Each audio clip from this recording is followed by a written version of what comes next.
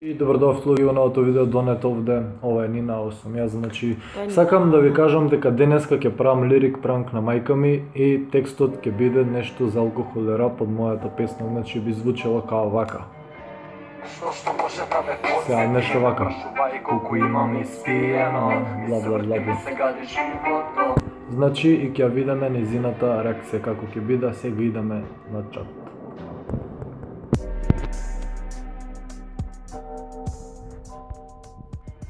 Ти ме прашувај колку имам испиено. Ми се врти, ми се гади животов.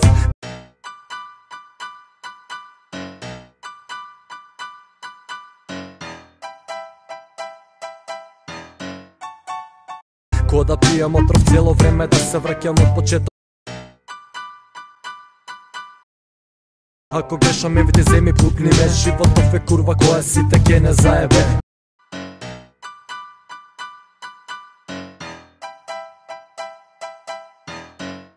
А нашите мисли не се исти Кон омрза на туги и љубов кон блиски. Амаш сега нема никој сам си Ме бараш мене повторно во твоите замки.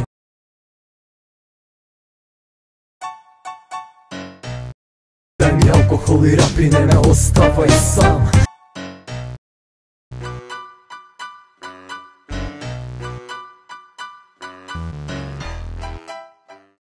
Некам проблеми, дај ми моменти Да има нешто што може да ме подсети.